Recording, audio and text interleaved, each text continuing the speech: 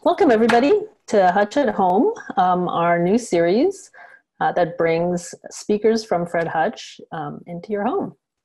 And we're super excited today uh, to host Mollie McDonnell from the Emerman Lab to talk about HIV, a story of cross species transmission. And um,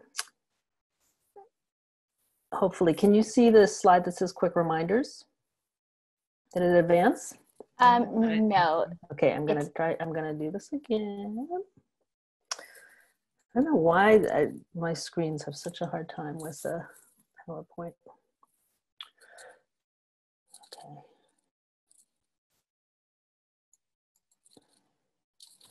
It wouldn't be a Zoom um, meeting without some technical difficulty though, right? So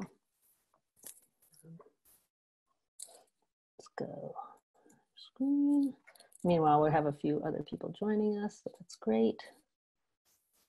Okay. And, okay. So weird, it's saying it's paused and I can't resume it. Ah. So what I'm gonna do is I'm gonna share out of this other window.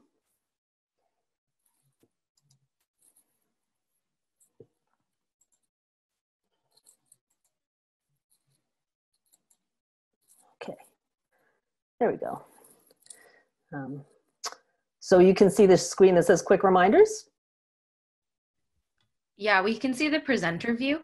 Yeah, okay.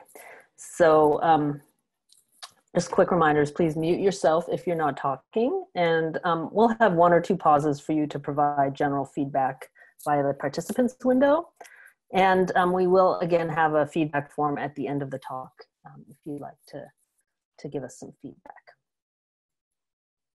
Okay, so in the participant window um, where we do a pause, uh, you can, or even just at any time, um, if there's um, uh, something where you are hoping that we go a little faster or go a little slower, you can indicate that to us. And in the more button, um, you can also uh, applaud or give, give your thumbs um, up or down.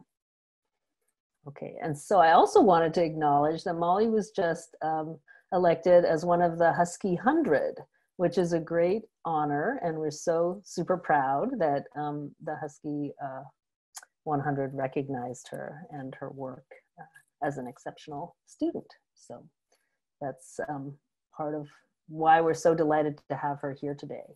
And I'm going to stop uh, sharing now and turn it over to Mollie.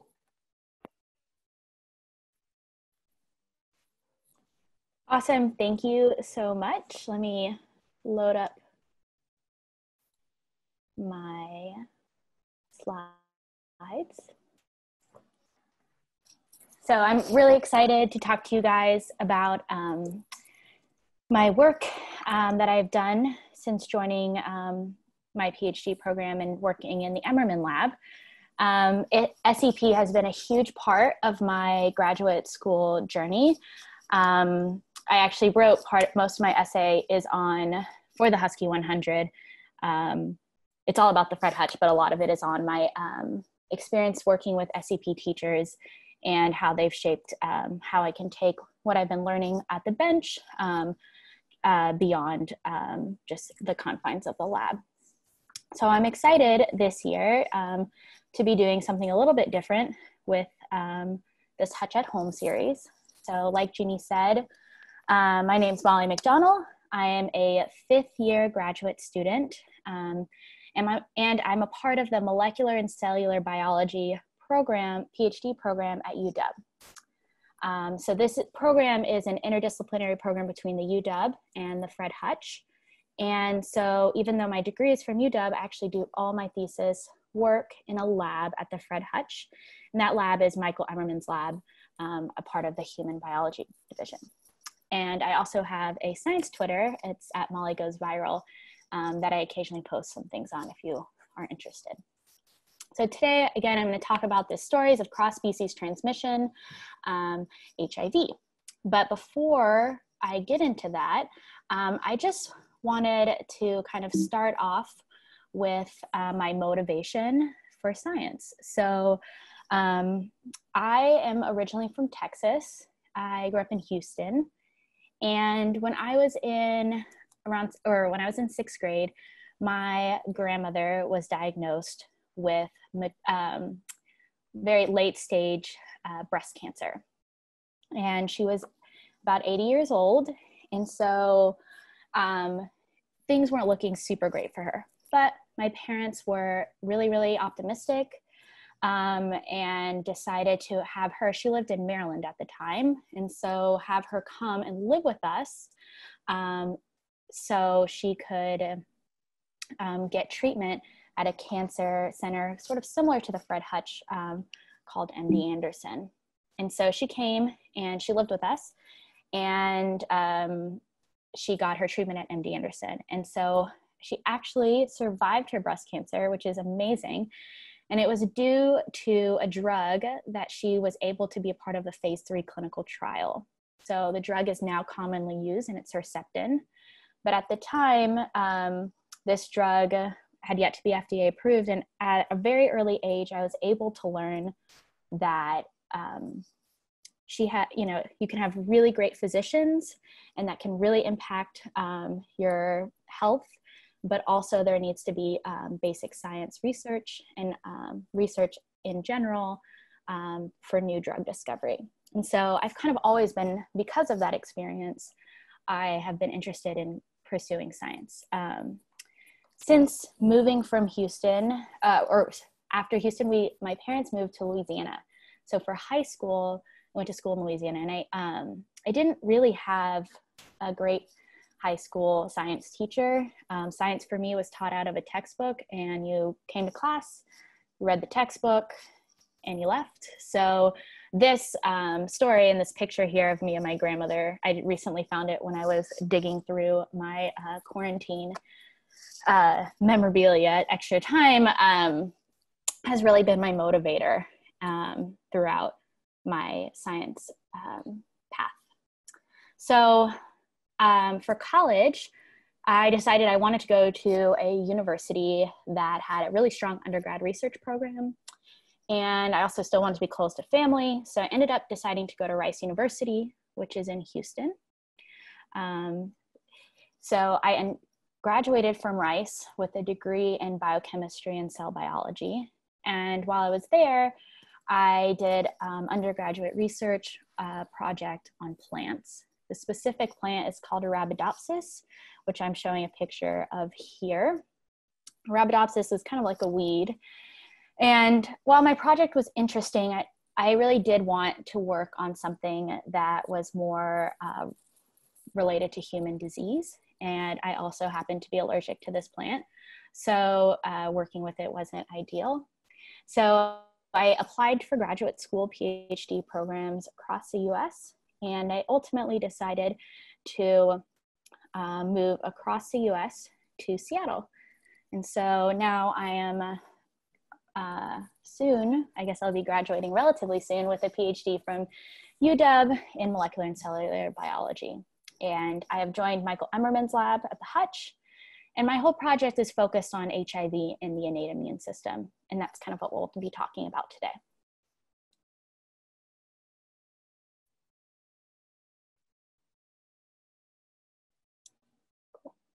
I'm going to occasionally check the uh, chat to try to monitor it myself. So yeah, we'll let you know if there's something. Great, great. That's even better. Okay. Um, sorry, so next, let's see. Just want to broadly um, talk about the immune system. And I know last um, session there was a great talk on the immune system as well, but just to reorient everyone, um, there are two major classifications of the immune system the innate immune system here on the left, and the adaptive immune system on the right. And here I'm just trying to compare and contrast a couple of points. So the innate immune system is encoded um, by your genome. So it's germline encoded. And versus the adaptive immune system is created in response to a, a pathogen. Because of this, the adaptive immune system is going to be a very specific response versus the innate immune system is going to be much broader and non-specific. But the innate immune system is going to be rapid in your first response versus the adaptive um, immune system is a slower response because it takes um, some time to create this very specific um, response. The last point is um, the innate immune system is inheritable. So again, this is important because it's um, it's germline encoded versus the adaptive um, immune system is generally not passed on to offspring. So for example, um, antibodies are a great um, um, example of the adaptive immune system. So antibody is made in reaction to a very specific pathogen. And I'm showing that here with these uh, traditional antibody cartoons. And I do want to note one um, exception is mother to infant um, antibodies. Um, so mother can pass on their antibodies to their um, infants. In addition, the, ex or the example for the innate immune system um, is shown here. So this is a immune cell and in response to a pathogen, it is releasing a signaling molecule to alert the immune system to help take uh, clear this foreign object. Well, my work is actually focused over here on the innate immune system. So I'm interested in the innate immune system in the context of HIV. So I know everyone has um, a pandemic on their mind, and it might not be this one, but HIV is still a huge global burden. Um, and so, HIV, or human immunodeficiency virus, um, is going to be demonstrated here in this heat map. So, the global prevalence is still enormous. So, we have about 80, I mean, sorry, 38 million people living with HIV globally and about 1.7 million new infections. And this um, is coming from data that was acquired in 2018. But um, as you can see here, the darker colors are areas that have greater um, people living with HIV. And um, I wanted to draw your attention to Africa, where we can see there are lots of people that are infected with HIV, and this is actually where the virus originated. So the virus um, originated due to a cross species transmission. And so I want to talk about that here. So, HIV, which is human immunodeficiency virus, um, I'm going to kind of backtrack in how we know um, where it came from, but first start off um, over here on the left and talk about old world monkeys and how they are infected with their own species specific um, HIV like virus. Um, it's called simian immunodeficiency virus or SIV. So here the silhouettes show different monkeys and below it will be SIV and then a short um, abbreviation for the monkey. So this is an African green monkey and this um, African green monkeys are infected with SIV HEM. Now, um, when we backtrack and try to figure out where HIV came from, we actually know it was a result, it resulted from four independent transmissions to humans. So HIV, it actually originated from SIV CPZ or SIV chimpanzee. So we got the virus from, um, from chimpanzees. So it jumped from chimps into humans twice and then from it went from chimps into gorillas and then from gorillas into humans twice. So four arrows here are showing four independent transmissions into humans and one of which is responsible for the pandemic. Furthermore, we can actually trace back this, uh, the history of this virus to um, old world monkeys. So there is a virus um, that was infecting red cap mangabeys here and mustache guenons. These two viruses combined together and infected chimps, and this virus was known as SIV-CPZ.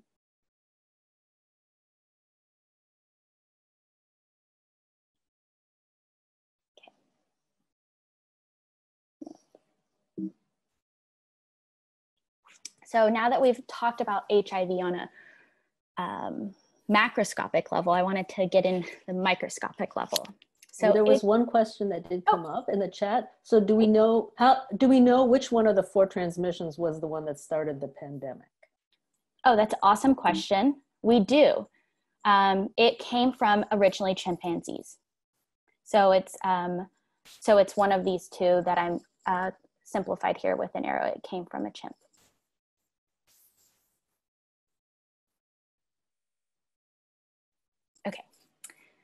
So HIV is actually a retrovirus. It belongs to the retrovirus family.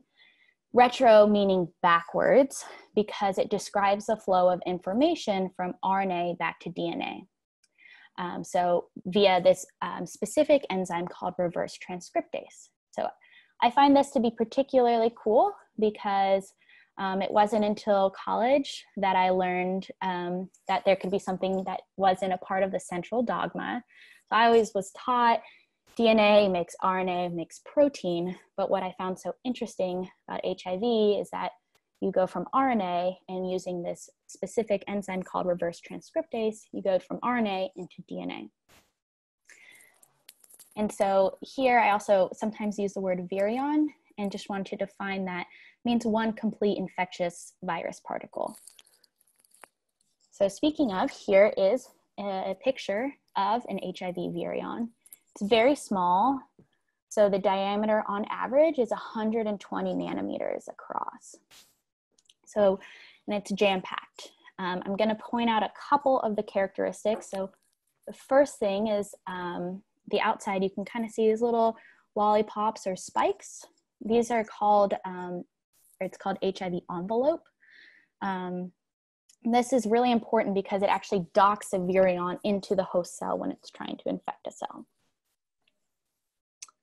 Something else that really sticks out is this cone-like shape found in the inside. This is called HIV capsid. Capsid is kind of like a shield. What it does is inside it contains the genetic material, but it's trying to guard the genome from the host so that way it's unrecognizable and it doesn't get um, like removed by the host.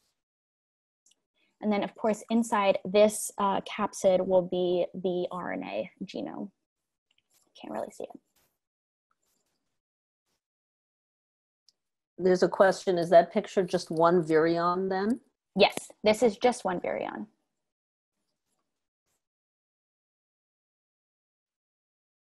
And so now taking this picture, I'm going to use now a cartoon form to talk about the HIV life cycle. So here is our cartoon virion. On the outside, we have the envelope. And here's my best attempt to make the similar cone shape uh, capsid. And inside is the genetic material, which is RNA. And so here, when things are RNA, I'm gonna color them green. And when it's DNA, I'm coloring it uh, blue. So when this virion finds a target cell that it wants to wants to infect, that it infects, it will bind to the cell and uncoat. So um, what happens is it deposits its genetic material into the cell, and this capsid starts to break down. So I'm showing that here with um, dotted lines. Now we have the RNA that's hanging out in the cytoplasm of this cell, and this RNA needs to go into DNA. So this process is called reverse transcription, um, which is happens here. And this process is very error prone. In fact, every single time that HIV copies its genome, there's one mistake made, which is pretty incredible. Um, so after that, once we have two, this DNA made, it's a double-stranded DNA, it's going to import into the nucleus, which I'm showing here. This DNA gets integrated into the host genome um, in an area that actually is undergoing active transcription. So when the cell naturally goes under um, transcription process, it will start copying the HIV. And so then we'll, we'll get active transcription and translation, and new viruses will get ready uh, to assemble and bud and infect a new cell. So there's a question uh, Y cartoon of two strands of RNA, but only one strand getting reverse transcripted? Yeah, that's a great question. So each, each virion contains two copies of RNA. And the process is a little bit more um, complicated, but basically what happens is these two strands of RNA can um, recombine or twist to add even more um, mutations and diversity. So um, I've just drawn it as one here, but it is something um, I'm glad you guys noticed.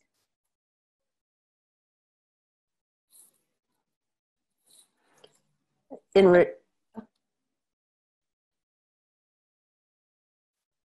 Sorry, Jeannie, were you going to say something? in reality, it's only one strand that's getting transcribed. So um, the two strands of RNA, um, so there are two per virion, and these uh, strands can, or these strands are used to add more diversity um, because they recombine or they um, twist into each other, if you will. But at the end, all that is um, happens is you get this double stranded DNA product.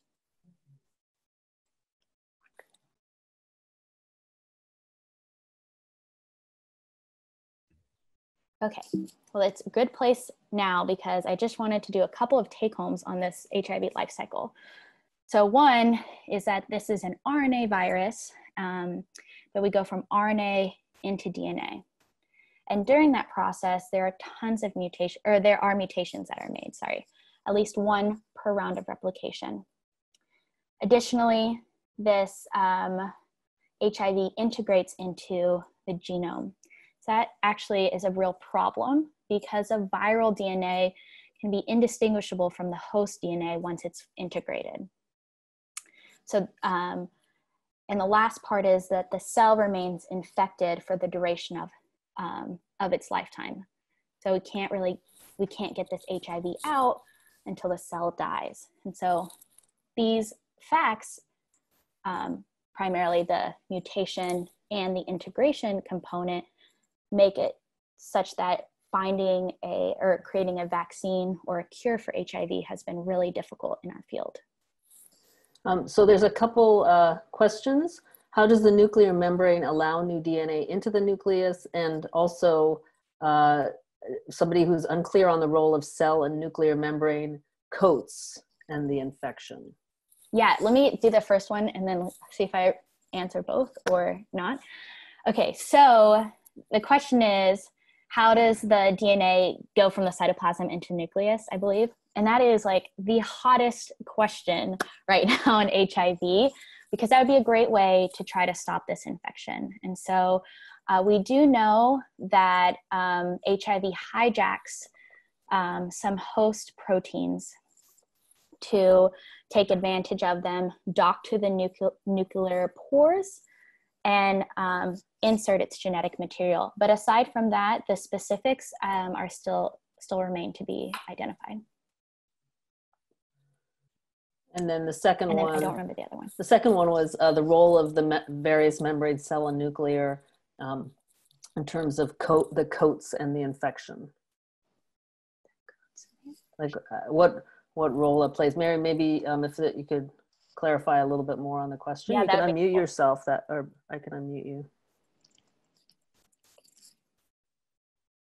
Mary, you're Hi, unmuted. sorry. Thanks for taking this question. Of course. So, uh, just you know, with the uh, external parts of this virus, Mm. um, with the and I may, I may not be using the right terminology, but it, am I thinking about this correctly? So the the out the outermost part of the virus originates from an infected cell membrane. Is that correct? Yes, that's absolutely correct. And um, maybe sort of showing here when a virion does go to bud, it takes on part of the host cell here.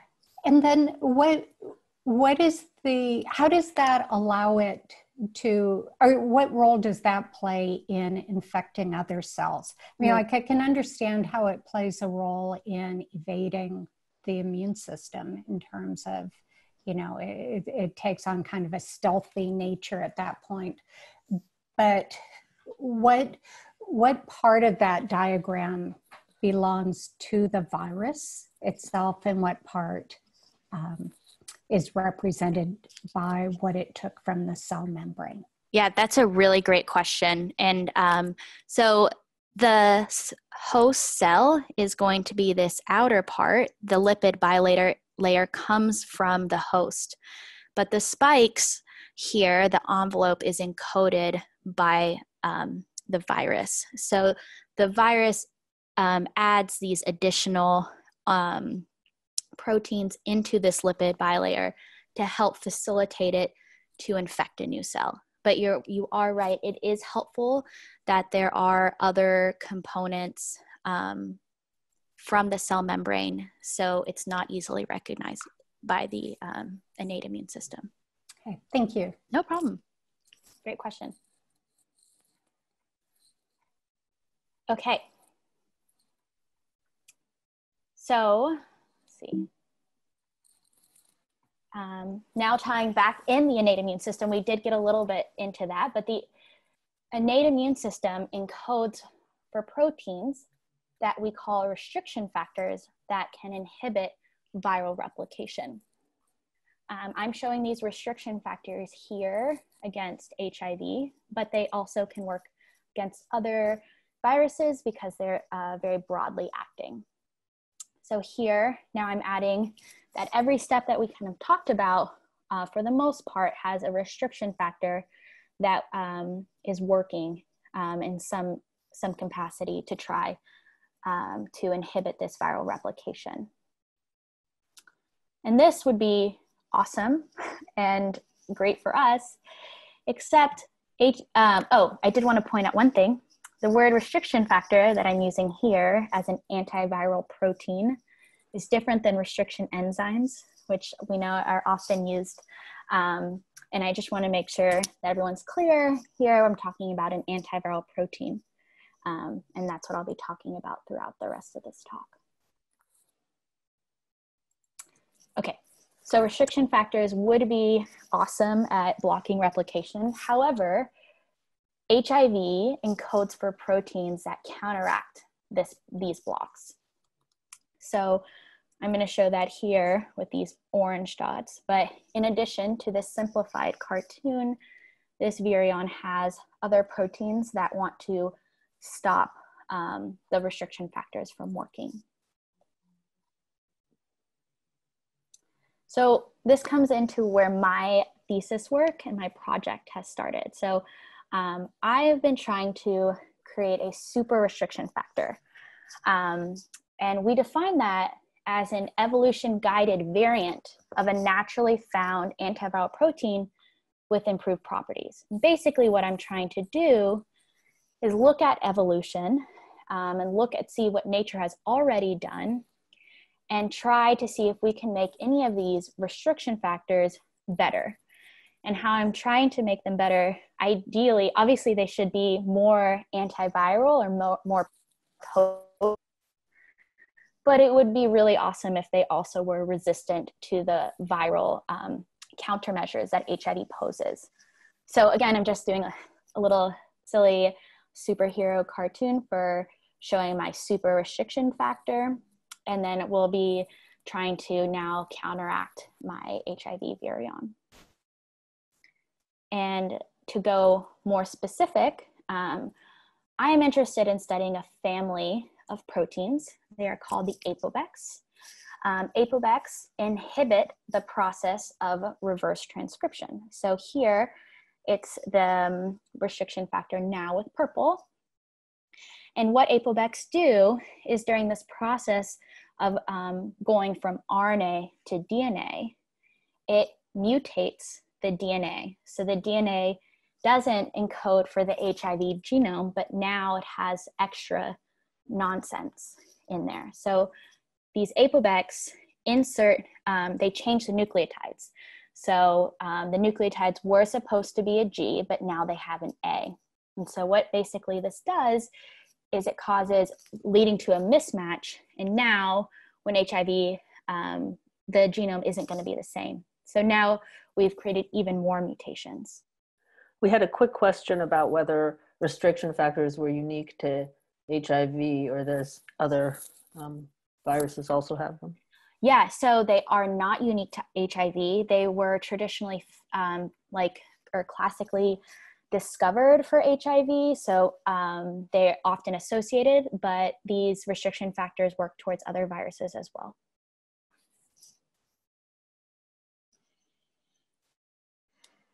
Okay, so ApoBecs. Um, ApoBecs also are a family of proteins. So, oh, and these ApoBecs would be really great, um, but HIV encodes a protein called VIF, and VIF um, gets rid of all the ApoBec.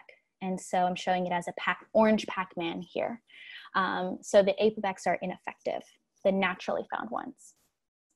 So just to dive in a little bit more, ApoBecs are a family of restriction factors. That means there's um, more than one of them. And I'm showing that here, it's a cartoon. So this here is a gene um, locus in a cartoon form. So on, in humans, on chromosome 22, you'll find the seven ApoBecs that I'm showing here. So ApoBec A, B, C, D, F, G, and H.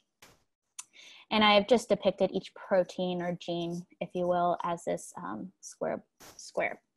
And so these seven restrict um, apobecs have varying ability to degrade um, or to inhibit HIV. And so I'm showing that with a simple plus and minus here on the bottom. But um, what I wanted to do, so I had a couple of observations, but um, one of which is that these ApoBec 3D, F, and G are really potent at inhibiting HIV. And they also have uh, two domains. So I should have said this earlier, but the two blocks show that the gene itself duplicated, so it's twice as big. So I showed the cartoon with two different blocks. But it's interesting that ApoBec 3C here doesn't inhibit HIV very well and only is single domain. So for my project, I wanted to see can I make ApoBec 3C even better by duplicating it so it looked like what evolution has done with these other ApoBecs that are potent against HIV over here.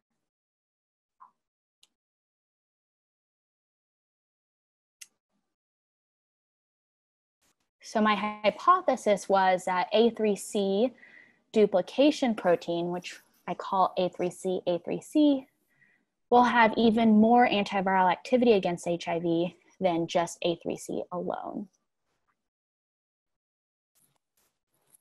There was a question about what's going on with H. Yeah, H is a really good question. Uh, or it's an interesting protein. There is a common form, and our lab has actually done lots of work on this, and um, it was also discovered in our lab. So ApoBec 3H is really interesting. The most common form of ApoBec 3H is not antiviral. So that's why I have a minus here. Um, but there is a variant circulating in certain populations. So some people have a form of ApoBec 3H that's more antiviral. And so that is what um, it's shown here as a plus plus. So there's two different forms um, circulating.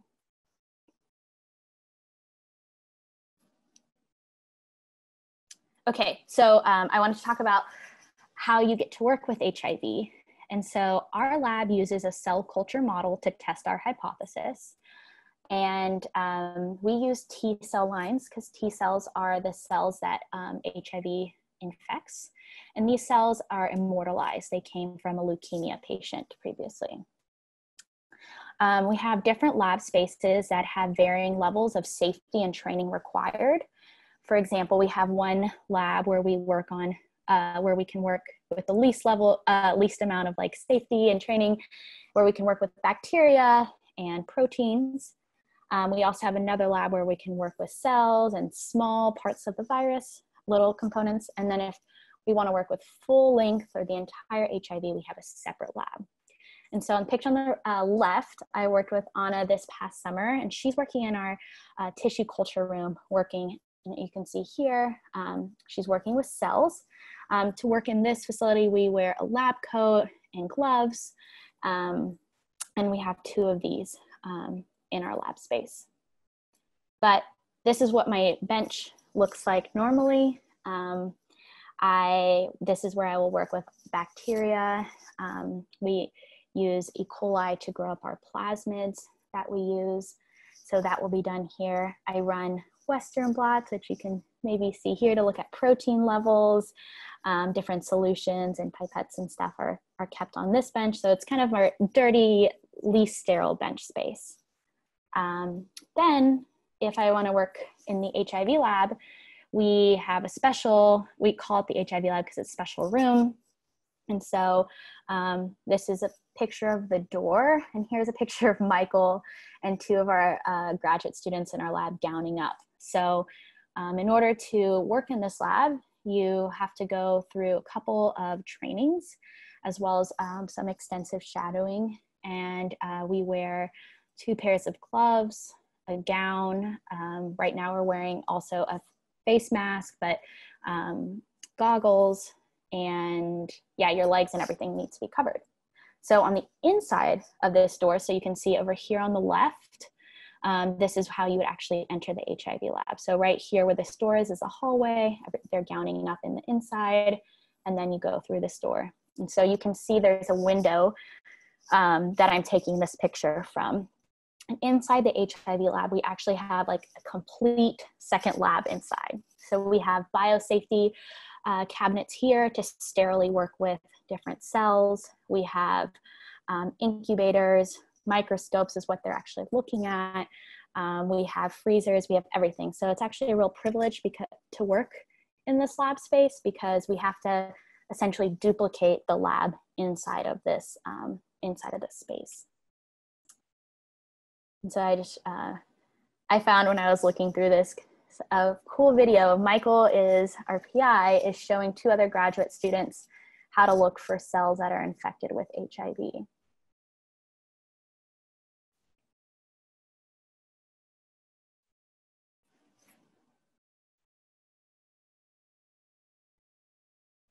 Okay. Play it one more time.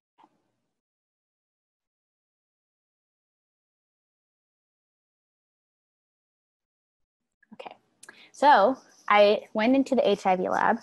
I performed an HIV infection assay um, to look at how antiviral these restriction factors are. And now I'm going to show you some data.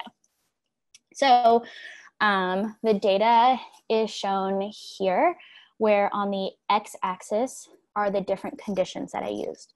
So here I had no ApoBec, so there's no restriction factor to inhibit. So here we have 100% of the cells that are going to be infected with HIV. I added ApoBec in a separate condition, added ApoBec 3C. Here, it's been established that this is this restriction factor poorly inhibits um, HIV. And then I have my new protein, ApoBec 3, um, A3C, A3C here, and this is my experimental control, and I'm excited to see what happens. On the y-axis here, um, this is the percent of cells infected with HIV.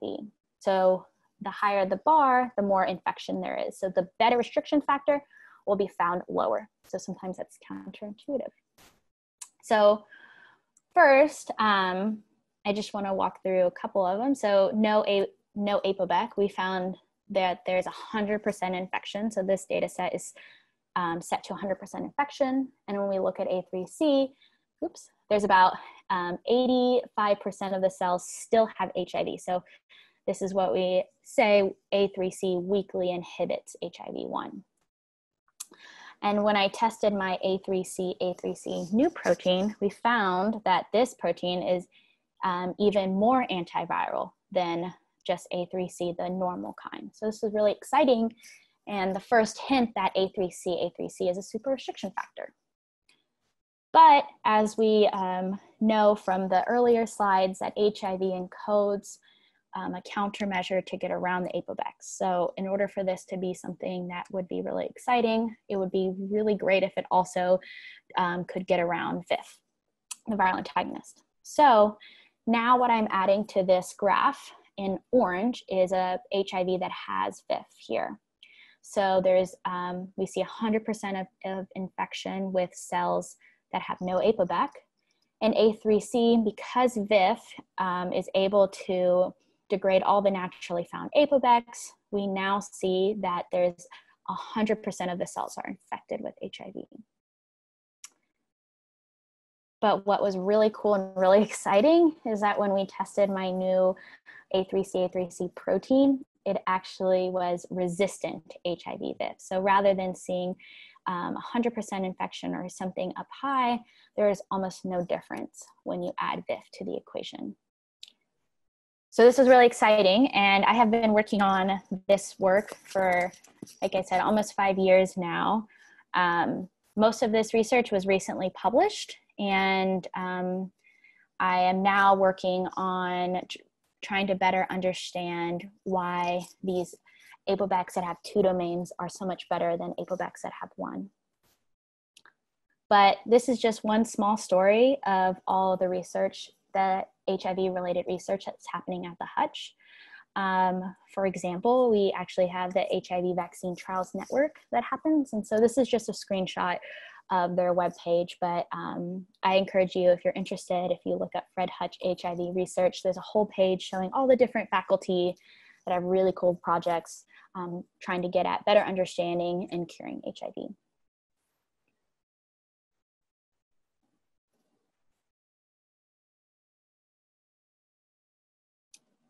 Okay, so I just wanted to end with a comparison because um, it's on everyone's mind. But just to summarize HIV, and then I'd like to just do a quick, quick comparison to SARS-CoV-2 or, or the novel coronavirus we've been all thinking about. So in summary, um, HIV is an RNA virus, but it goes from RNA into DNA. And when it makes this DNA, it integrates it into the host cell to create this lifelong infection. Um, HIV is transmitted through needles, blood, mother to infants, as well as sexual contact. And as we learned today, that it resulted from a cross species transmission from chimps to humans. So the virus that was infecting chimps jumped into humans and was able to adapt to humans and create a persistent infection. And so I'm not a coronavirus uh, or coronavirologist, but I um, will say that SARS-CoV-2 is an RNA virus similar to HIV, but a much larger RNA virus. And it does its entire replication in the cytoplasm. Um, unlike HIV, SARS-CoV-2 is an acute infection, although it is interesting because uh, when we first, when HIV was first discovered, it was um, thought to be an acute infection as well. Um, SARS-CoV-2 is uh, has respiratory transmission and um, has been uh, came originally from bats. So there was a jump from bats into humans, which led to this pandemic. And I think that's a great one way to transition into next um, science at home. Um, Dr. Ali Black, recent Dr. Ali, is going to has done some really cool work in trying to um, understand how or track different viruses. And so um, I'm not sure what she's going to talk about, but she's a great speaker, so I encourage you to go. But um, like I said before I completely end this, um, the SAP time has been a huge um, influence in my uh, scientific career. And so I was digging through some pictures of the lab and I found um, this picture. This is from last summer. Um, I have Nick, our postdoc, Danielle, post baccalaureate student. Anna was visiting us, and this is her awesome poster. Um, Michael, our mentor, the head of the lab, and then Suzanne, our technician. And we were just really excited to have Anna uh, show us her work. And then I even found an older picture, and you can tell because everyone is so close to each other outside of the Fred Hutch. This is uh, when Catherine Wallace worked in our lab. Here um, we are doing at the summer annual picnic And so this is Lisa, former technician who's now in graduate school, who also loves to participate in SEP. But um, here's a picture of everyone who's been trained in our lab. So Michael's sitting here in the middle, but um, the Emmerman lab turned 30 this past summer, and Michael brought back all of his trainees.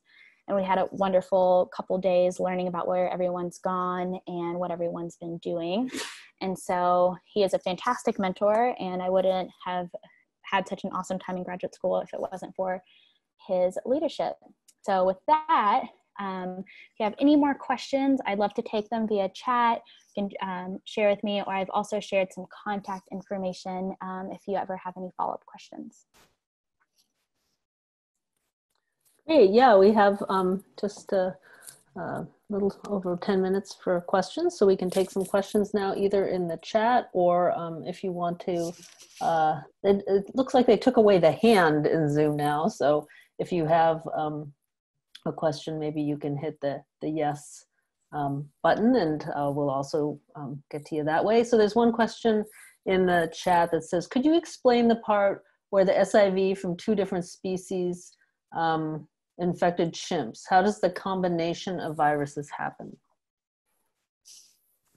Yes. So I, the hi- current hypothesis that we have for that um, is that these chimps actually eat the other monkeys.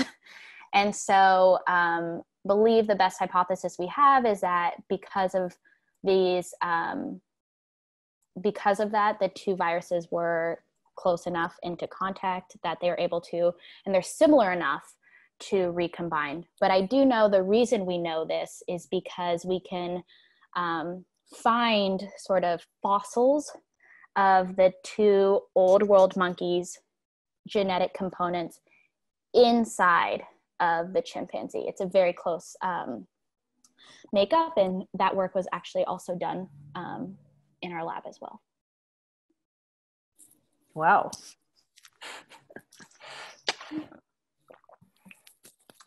Um, other questions?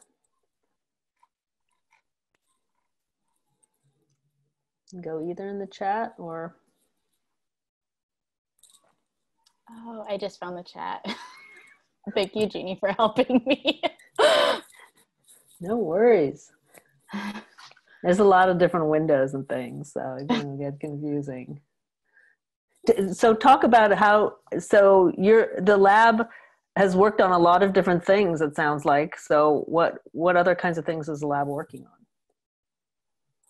Yeah um, so our lab has been is now working we have kind of an interesting new endeavor. We're working a little bit on hiv latency or this idea that um, we're trying to find um, where HIV is hiding in these cells. So there, um, we have a bunch of new experiments, and Michael just got a really great grant to help fund that. So we we currently have some projects that are looking into HIV in that regard. Um, we also have projects in our lab, so other people are trying to make super restriction factors as well, just taking other um, restriction factors as an example and yeah those are the kind of like big main projects that we have going on. Is um, a question what happened to the other three viruses that entered humans? Oh yeah that's a great question. So they they're still um, around. It's just they're less pathogenic. Um, and so what that means is like there's just less people that are infected with them. And so we see them um, in um, african populations but they haven't like made it into a pandemic I also see a question. Uh, oh, never mind. I think I answered that one. Yeah, that is an early. Oh, yeah, you did. You've been helping me with this. Okay. You see, oh, you see it now? How do There's I, a new one. Yes, I've gotten this now. Thank you, Jeannie. Um, I I'm not sure what I'm actually going to do when I graduate. I think right now I'm interested in uh, kind of going back to my roots of um, drug discovery and what kind of got me motivated in science. So I have been looking at trying to work at a local biotech in town. Um, I also I haven't completely given up. If I were to keep um, staying at um, in academics. I want to actually switch to a different virus. I am now more, I guess, more passionate about um, mosquito-borne viruses. I think they're going to be the new big um, big hit, if you will, in a probably bad way, but um, funding wise and where everyone's curious about. Um, we have with climate change and everything, we have we see diseases are spreading. So mm-hmm. those diseases would include like dengue, Zika, chikungunya, things like that. Um, it is common to stay in the same disease, but um, I think we kind of get some people want to focus more on the immune system versus focusing on um, like they take different components. So the immune system in the context of different viruses, or if they want to study different components of HIV. So people try definitely to diversify. Um, are there thoughts? Yeah. Okay. So Margaret Lewis, you asked a great question. That's exactly what I've been working on right now. So I've actually made other combinations. It's kind of like a Frankenbeck situation in the lab for me right now, making all different combinations. And I have some that are even better. It's pretty exciting. Um, so yes, we are definitely trying to make other combinations because I think I could do better. And that's what I've, um, that's what I've been like working on right now. So do you think like uh, ultimately there could potentially be some some kinds of gene therapy that would pump up people's apobex or yeah i think there definitely could be something um, it's definitely hard and we would want to do all those experiments um, in the like in our cell culture models where we have virus um, and these cell like ex- cells that express our proteins over long periods of time because like i we talked about hiv mutates so well and so mm-hmm. adaptive so I mean, it would be a dream, but uh, we still have like it's pretty far. It's a long way, yeah. Somebody yeah. asked, um, "Do you have any ideas about why they are so successful?" What's actually on? Uh, my super, my new super duper. It's like I'm running out of names for these, but um, I actually I don't know. Um, I have just started these experiments. So the labs were shut down for a while at the Hutch, and we just got like approval a couple weeks ago to go back. Um, so I have genuinely no idea, and that's kind of what's been so fun in the lab. I have lots of different experiments going on and trying to see are they better mutators of DNA or are they doing something new? Somebody asked about the assay. How do you determine that individual cells were infected with HIV during your experiments? That's awesome. I didn't talk about that. Um, so the HIV virus that we use um, actually has what we call a reporter in it, but it has a luciferase gene inside of it. And so when we add a re- luciferase reagent, every cell that has been infected with HIV will glow, and we're able to quantify it that way. Mm-hmm. From fireflies originally. Yep. Yeah. Yeah.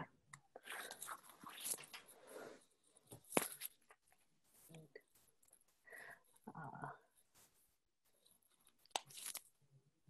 there's another question from Danielle.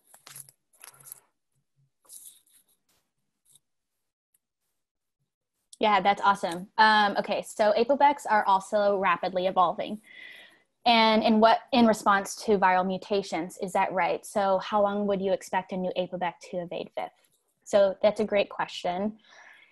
Hiv every single time it replicates there is one about one mistake made.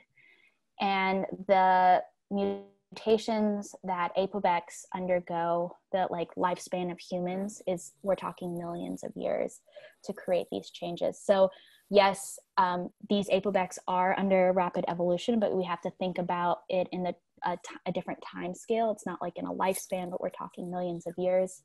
So I think it would take a very long time for a new apobec to evade VIF just because of that. Has the apobec structure been solved? Yeah, so some of them have, like apobec 3C has been solved. Mm-hmm. APOBEC 3H has. The single domains have, but the ones that have two domains haven't been solved. They're too difficult so far.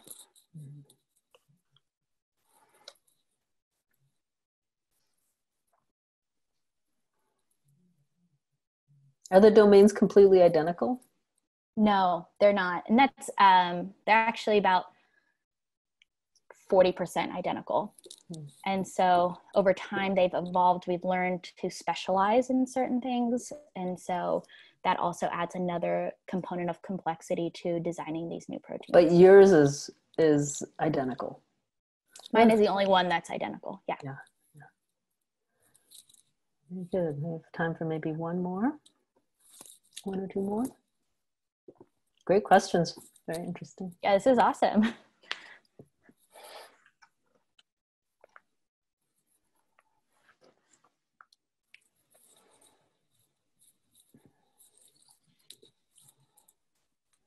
Right. Looks like we are are good. So um, let me just switch back here. If you could, let me switch back to my screen. Um, and, um, so, so as um, Molly mentioned, next week we have Dr. Ali Black, um, who has worked in the Bedford lab, and um, the Bedford lab has been getting a lot of press, as you know, um, from kind of their role in understanding uh, how viruses evolve and, and spread and their ability to uh, use science to track that, especially um, now for, for the SARS-CoV-2, but a whole host of other viruses as well. And so her, uh, and it's kind of interesting, all these um, talks have, have had a, a thread connecting one to the next. And so uh, a lot of what we know about how um, some of these viruses are evolving and spreading comes from this kind of genetic epidemiology. So, kind of using epidemiological uh, techniques in combination with our understanding what's happening at genomic level. Um, so, genetic genomic epidemiology on the front line, learning about, about disease transmission from pathogen genome sequences. So that promises to be really um, interesting and excited about that. Uh, if you need a grad student who, to talk to your students, we have a couple grad students who um, are looking specifically to do that kind of service right now. So please email us um, if, if you're interested in that. Um, they want to meet teachers. They are excited about this possibility. Uh, we have coming up next week uh, a PD about teaching SEP labs virtually um, on May 18th. So hope you can join us for that.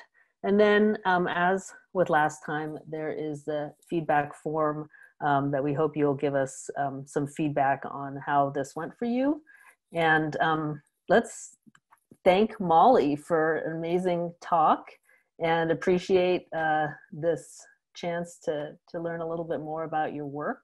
And, um, you know, just uh, excited for your next steps.